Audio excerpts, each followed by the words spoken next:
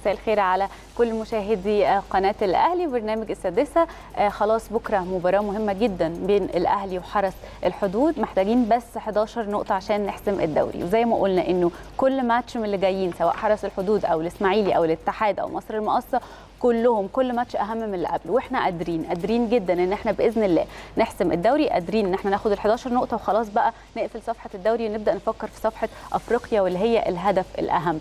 الحقيقة في محاولات مستمرة من تشتيت الفريق وتشتيت الكيان و... و...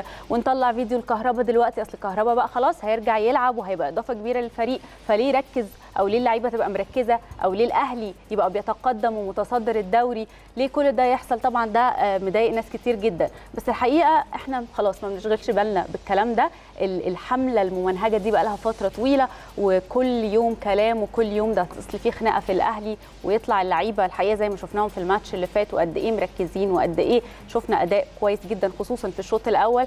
بس زي ما بنقول دايما إحنا مركزين في هدفنا.